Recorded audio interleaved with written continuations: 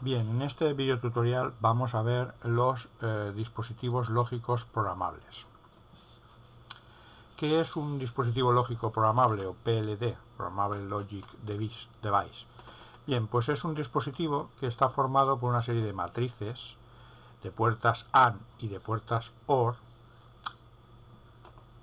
y que en algunos casos pueden sustituir ventajosamente a los circuitos de mediana escala de integración o de baja escala de integración. Es decir, circuitos combinacionales que realizamos con puertas o con decodificadores, eh, bloques funcionales combinacionales. Como veis, aquí tenéis a la parte izquierda una matriz de puertas AND sin programar. Las matrices eh, tienen como entradas dos variables, tanto la mm, variable real, A y B, como la variable negada, A con una comilla y B con una comilla. En principio, todas las eh, puertas reciben todos los eh, estados de las variables, es decir, reciben o pueden recibir eh, la variable A real, o la variable A negada, o la variable B real, o la variable B negada y lo que se trata es de eh, eliminar o fundir esas conexiones para quedarnos con las que nos interesa. En la parte derecha tenéis ya los, la matriz programada de forma que la primera puerta, la puerta superior A, lo que hace es tomar la entrada A y la entrada B negada. Como es una puerta A, las multiplica y la función que está realizando esta puerta sería A por B negada. La intermedia hemos fundido los fusibles y hemos dejado solamente las conexiones de A negada y B real. Por lo tanto será la función A negada por B. Y la última hemos dejado los fusibles eh, intactos en la conexión de A negada y B negada. Por lo tanto será la función A de A negada por B negada. ¿Qué es una PROM? Un Programable Read Only Memory. Pues bueno, una, una PROM la tenemos que ver como una, un dispositivo que tiene una matriz de puertas AND a la que llegan todos los minterms. Minterms, acordaros que eran todas eh, las posibilidades o las posibles combinaciones de las entradas. Tenemos todas A negada, eh, la C negada y B negada y real y así sucesivamente. Las ocho combinaciones que tendríamos desde todo ceros que es la puerta superior hasta todo unos que sería la inferior. Y después tenemos una matriz de puertas OR que podemos programar. Es decir podemos coger qué términos nos interesa eh, para formar las funciones y eh, obtenerlas por estas salidas. ¿Qué es una PLA? Una Programmable Logic Array pues una PLA es una, un dispositivo que tiene tanto una matriz programable de puertas AND, es decir, que podemos seleccionar qué variables y en qué estado van a atacar a las entradas de las puertas AND, y después tenemos una matriz también programable de puertas OR, que nos permitirá coger qué términos eh, o qué salidas de las puertas AND colocamos como entradas en las puertas OR es la más versátil de todos porque podemos programar tanto eh, la matriz de puertas AND como la, matriz de puertas OR, pero peca un poco de lenta. Después tenemos la PAL, que se utiliza bastante, que es la programable Array Logic, que tiene una matriz de puertas AND programable y después tiene una matriz fija de puertas OR. Esa matriz fija de puertas OR coge alguno de los términos o salidas de las puertas AND, pero no se puede programar, ¿eh? es fijo es más rápida que la pelea. Vamos a ver un ejemplo real de una PAL integrada. Eh, la PAL eh, que vamos a ver es la PAL 16L8. ¿Qué significan cada uno de los números? Bueno, el 16, el primer número que aparece, eh, nos indica el número de entradas totales que tenemos. En este caso tenemos 10, que son entradas a secas, y otras 6 que pueden actuar tanto de entrada como de salida. Lo tenéis en el esquema general de aquí.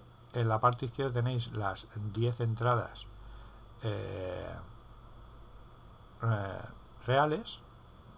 Aquí tenemos otra. Y después tenéis, como veis, una eh, realimentación entre la salida y la entrada, es decir, una, una patilla que pueda actuar tanto como entrada como como salida, que son estas que tenéis aquí, estas seis, ¿eh? que serían 1, 2, 3, 4, 5 y 6. ¿eh? las seis que pueden actuar con realimentación.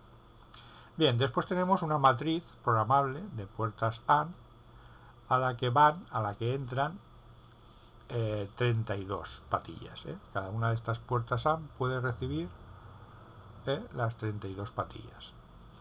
¿Qué son esas 32 patillas? Pues esas 32 patillas son los estados reales y negados de las 16 entradas posibles.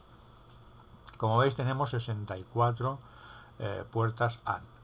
¿Por qué tenemos 64 puertas AND? Porque tenemos 7 eh, puertas AND por cada una de las OR, aparte de una habilitación, un enable. Es decir, que contando todas estas tendrían, tendríamos 64.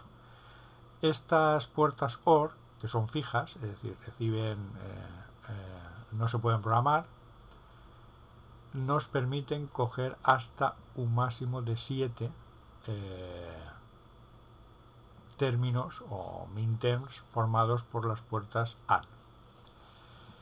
¿Qué significa la L que sigue al número 16? La L significa low, en inglés bajo. Eso indica que las salidas actúan a nivel bajo. Son activas por ceros. Y después este 8 de aquí nos va a indicar el número de salidas que, mm, de que dispone la PAL. Las tenéis aquí. ¿eh? Algunas son salidas reales, dos de ellas.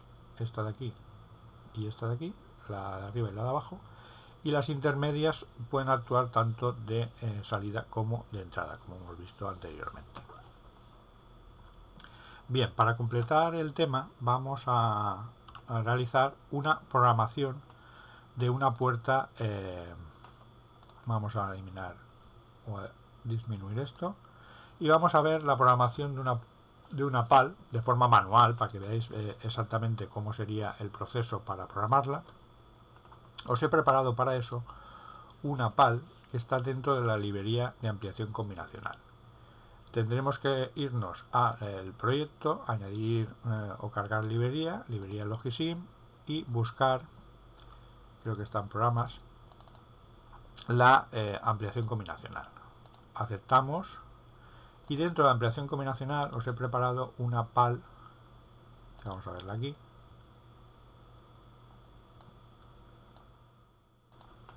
que tiene, eh, se llama PAL 4H1 porque tiene cuatro entradas, eh, las mm, puertas o las eh, salidas son a nivel alto, activas a nivel alto y tiene solamente una salida, es decir, es un poco más reducida que la que hemos visto en la presentación. Bien, si pinchamos en vista, veremos cómo están formadas, vamos a ponerlas todas a 1,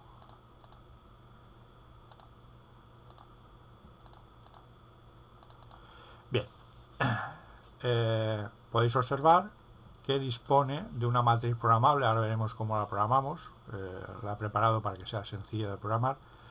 Después tenemos una serie de puertas AND y una puerta OR que va fija, las salidas son fijas, y nos permite realizar funciones en las que como máximo tengamos 8 minterms activos. En este caso tenemos 1, 2, 3, 4, 5, 6, 7 y 8.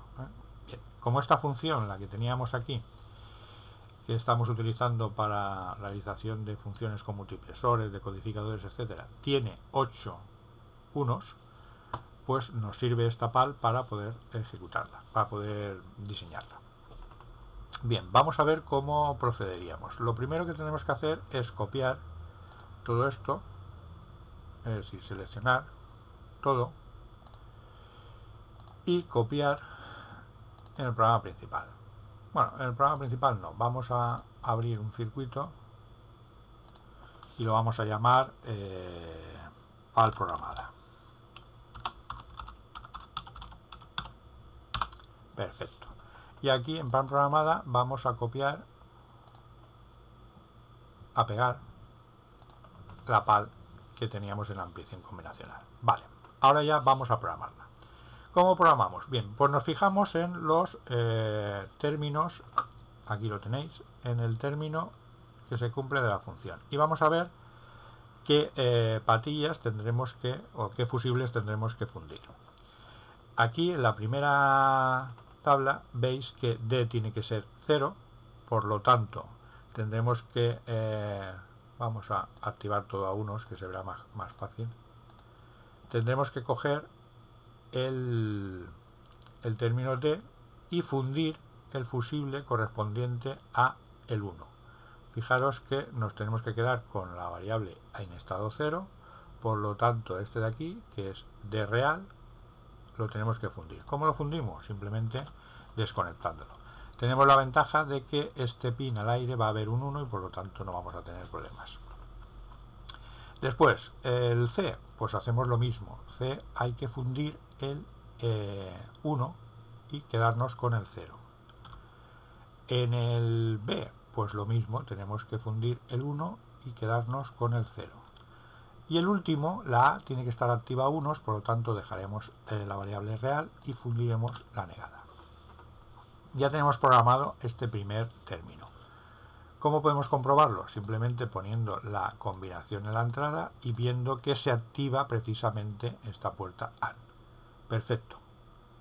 Vamos a ir mm, con los siguientes términos. El siguiente término eh, hay que fundir el fusible de la conexión de D real, es decir, esta no la tenemos que eliminar, tenemos que dejar eh, denegada,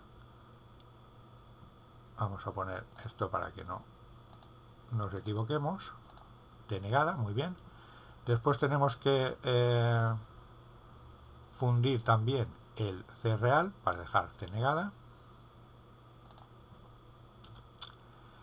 y tenemos que poner B real. Ahí está y en la última la A tiene que ser eh, negada. Por lo tanto fundimos la A real. Tenemos 0 0 1 0 bien. Vamos con la siguiente. La siguiente tendría que ser esta de aquí en la que tenemos C en real y el resto en negadas. Vamos a ir un poco más a prisa. Dejamos C real que es esta y las otras tienen que ser negadas.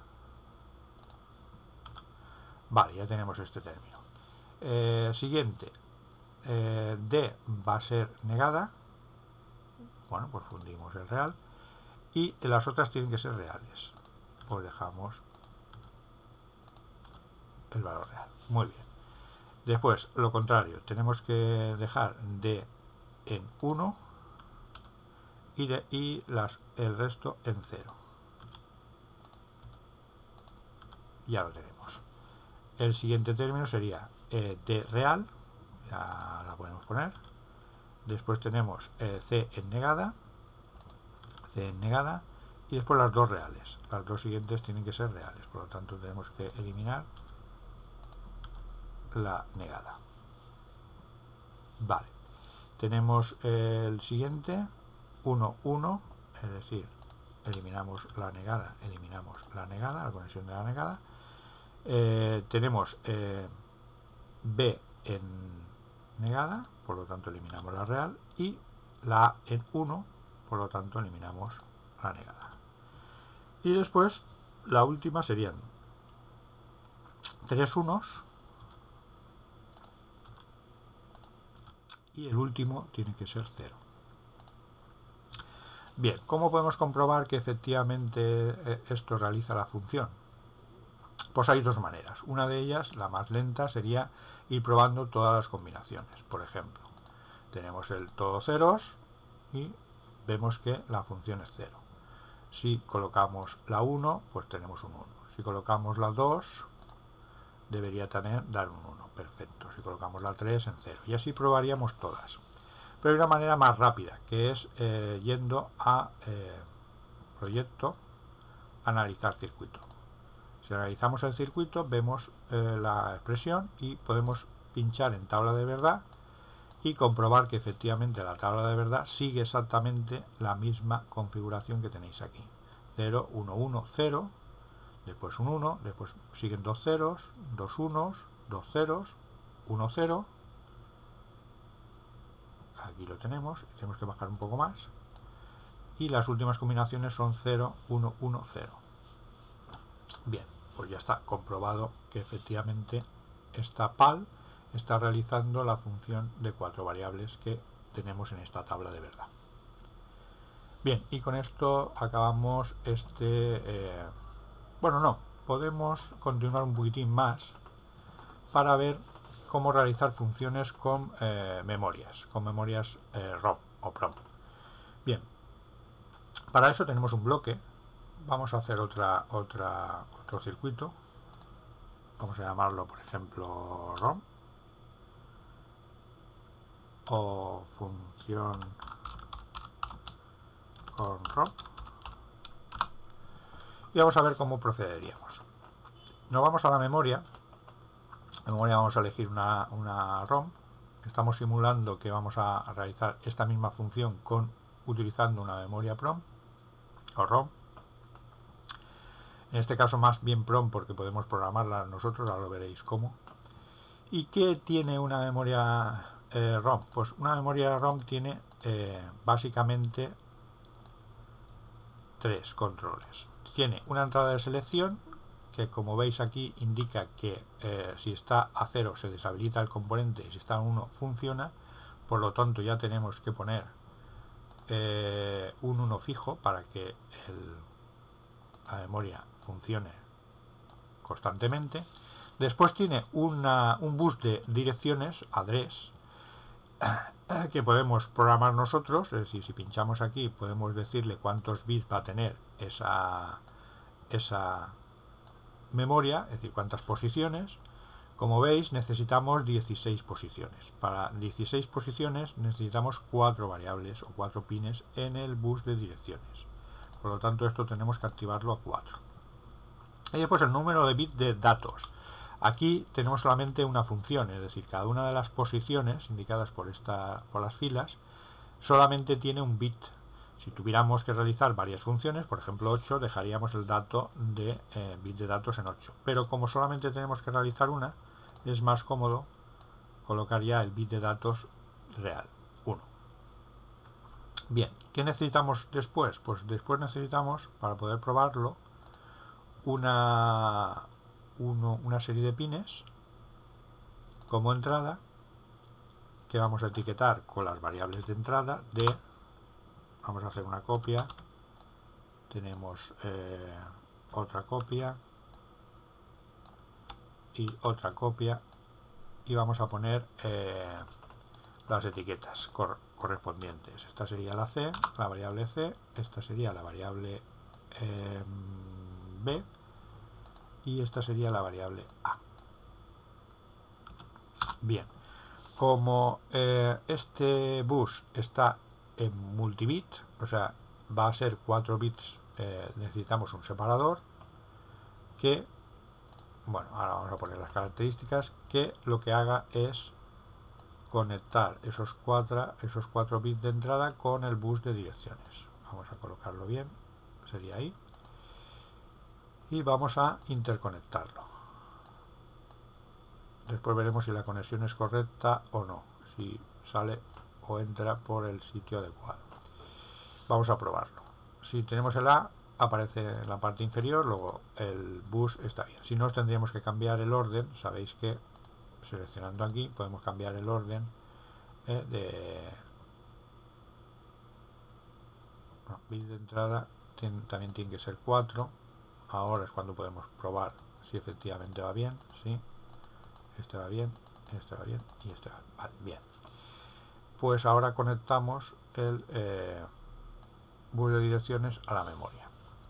Después la memoria hemos dicho que eh, tiene que ser de un bit de datos. Aquí ha pasado algo raro y no sé por qué aquí aparece eh, diferencias en el bus de datos. No sé por qué. Vamos a ver. Decimos que sí. Decimos que el oeste.